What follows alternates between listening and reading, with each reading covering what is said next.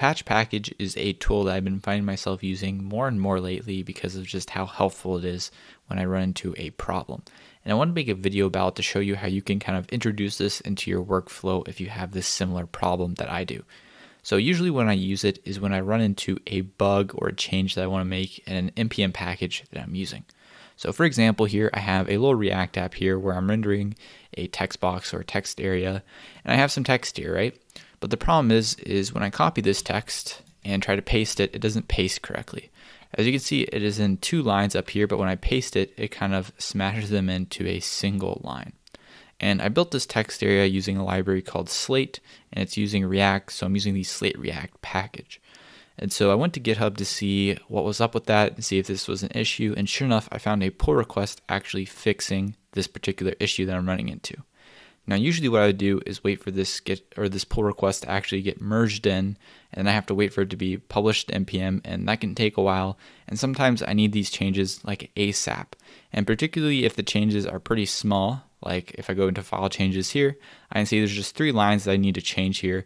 A lot of times I just want to go in and fix that now for myself. So one way I can do this is to fork the package, make the changes, and then publish my own npm package or pull in from that GitHub repo uh, the package.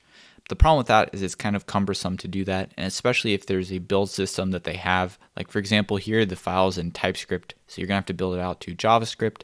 It's kind of cumbersome to deal with that entire process. A lot faster of a way is to just go into your node modules and change the code there. And so the problem with doing that usually is, well, if you delete node modules, it's gone. It's also not checked into Git that way, so you can't track the changes and that sort of thing. But patch package changes those things and makes that a viable option. So now what I want to show you is just an example of how you can do that yourself. So here I have a package, or really I have the code for what I was just showing you. And so what I'm going to start off by doing is just installing patch package. And then I'm also using yarn, so I'm going to be installing post install post install. So you need to add this if you're going to be using yarn. And I usually add this as a dev dependency. And now you want to make sure you install any dependencies that you're going to install before you start messing around with node modules because with yarn it sometimes will remove your changes. So that's a good thing to note. Make sure you do it this way. Also, one thing I'll note if you're using Yarn workspaces, I'll usually add patch package at the root level. So the next thing to do after this is to actually make the change to our package. So what I'm going to do here is say code and then the path to the package that I want to open. In this case, I'm just going to go into node modules and then slate dash react. And then the code command here, all this does is this opens this folder in VS Code. You can also just go up here and do file open if you want to as well. All right, so this is the package Slate React, which has the bug in it that I want to fix some code in. So usually what I like to do when I start here is open up the package.json and see what the main module is. In this case, it is dist slash index.js. Because if we go inside of dist, there can be a lot of index files and a lot of JS files and it can sometimes be hard to find where you actually should start. Now, depending on the package you're using, this can be more or less complex. In my particular case, this is more complex because they're using TypeScript and they're also doing a couple different builds from this. You can see there's not only a main, but there's a module and there's a UMD and there's a UMD min. And so you can see that there is a couple different starting points, or at least it looks like there's four or five starting points. So what I like to do in this case to kind of figure out which one my particular application is using is just to add some console logs in there. So what I'll do is I'll just go to the top of like say index.js and I will just say console.log and then I'll say index.js. And I'll give this a save. And oh, that's another thing I should mention. You notice it kind of reformatted there when I save. That's because I'm using prettier. Usually you don't want that to happen. So I'm actually just going to control Z and I'm going to say command P or command shift P. And I'm going to go to file save without formatting. So this will just save the file and then it won't run prettier on it. So it looks, it doesn't mess up the uh, entire thing. And you'll see why that's important uh, later on. But anyway, I'll copy this console log and say add it to index.es.js as well. And I'll just say .es here. And again, I'm going to say save without formatting. And I can also add to Slate React as well. All right, so this is slate-react. And so this is just give me an idea which one of these files is actually being run. So now if I go back to my application, I can see this. The other thing to note is you may need to restart your server depending on what you're using to actually watch node modules and what Webpack is actually doing. So I'm coming back over here and just to be safe, I'm going to just control C out of this and restart my create react app server. All right, so I'm now back on the website. I'm just gonna open up the inspect and go to console. And here I can see the console logs. In this case, I can see index.es.js. So that is the file that I need to make a change in. That is the one that's actually being imported and used in my particular project. So now if I come back over here, I can remove these console logs and again, save without formatting and we just don't need them anymore. And we'll remove this one too. And now the next thing I need to do is figure out where in this file I actually need to make this change. Now, a lot of times it's going to be compiled all into a single file. In this case, that is what it is for me. So everything is in index.es.js. So this is just a giant file right here with 1800 lines. So if I go back to my GitHub pull request here, I can actually see the files that are being changed. In this case, I can see editable.tsx was changed. But in this case, this doesn't help me because this is a TypeScript file. So what I'll do is I'll just take one of the lines that is in the file and try to search it. So in this case, I'm just going to search for div.inner.html.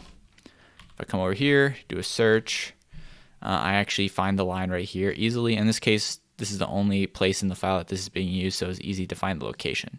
And if I take a quick look and I look at these lines of code, I can come over here and compare. This looks about the right area. And so what I'm going to do is I'm going to copy these two lines that I need to add, and I can see I add this above this text-html line. So that's right here, and I'm just going to come and I'm going to paste it right here. And then if I want to, I can add semicolons just to match, but honestly, it doesn't really matter. And then I'm also going to add this line right here. And I'm just going to ignore this comment down here. I don't care about that. We'll add this down below. And again, I'm going to save without formatting, and then I'm going to restart my server and come back to the website. All right, so I'm back at the website. Now I'm going to see if that actually fixed it. So I'm going to copy the two lines, and I'm going to paste it, and awesome. It's now pasting in two lines just how I wanted. So we applied the fix, and now we have some extra lines of code that are in our node modules. The next step is to actually save that and make it permanent. And that is where patch package comes in, and we're actually going to run a command here. So I'm going to say npx patch package, and then I'm just going to say the name of the package that I want to patch. In this case, it's going to be slate-react. And then I run this, and oh, it looks like it kind of had an error or a seg fault here.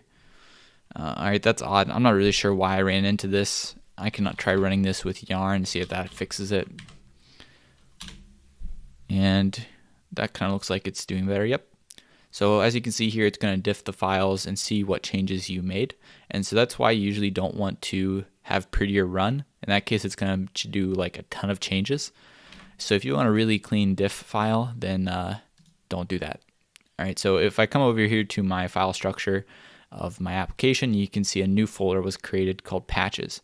And if I click on this, I can actually see the lines of code that I added. In this case, I can see I appended these two lines, right? Or these three lines. And you can also see that this is, says slate-react, so that's the right package, and I can also see the version. And the other cool thing about this is if I end up upgrading the version of Slate React later and this patch becomes irrelevant, what uh, patch package will do is it'll just give me a little warning and let me know I've upgraded to a new version and ask me if I still want to keep this patch or not. In that case, usually I'll actually end up deleting this later because this is more of a temp fix. Now, the only last thing to do with this is to apply this patch whenever we do an install. And so for that, we're just going to go to our package.json, come over here, and add a post install. And we're just going to say after the post install, we want to run patch package. And so now what will happen is, let's say I delete my node modules, right? So all the changes I just made are gone. But because we are using patch package, it saved the patch here. And as you can see, it takes just a second there to actually run. Uh, but if I run yarn now, what's going to happen is it's going to install the packages, and then after it's done installing stuff, it's going to actually run patch package thanks to this post install, and it's just going to apply this patch. And so it's going to go into this file that has here and make that change. And we can see that here in a second. Cool, it finished installing and you can see here it says that it ran patch package and it said it applied the patches. In this case, it applied a single patch, Slate React at this version. And just to show you when we install a different version of uh, Slate React, for example, that'll throw an error. So let's do Slate React at, uh, I don't know, at version 5. I don't think this version exists, but here we go. Let me pick another version. So in this case, I'm just going to go back one version and install this. and uh, hopefully patch package should give me a little warning that I've changed the version. Yep, there you go. This is the error that you'll get if you try to change the version of a package that you have a patch for. So in this case, you can see I have a patch for 0.57.1 and the install version is 0.57.0. So in this case, I can either decide whether to just delete this patch or if I want to go in and change the patch for this new version that I've installed. It's up to you to make that choice depending on whether the fix is changed or whatnot, and you can kind of take it from here. But yeah, there you go. That is an introduction into Patch Package. Again, I'm really enjoying this whenever stuff comes up that I need to make a change to one of the libraries that I'm using, and I don't want to wait until it's changed. This actually gives me a nice fix for something that I need to do ASAP. So definitely give it a try if you run into that particular problem.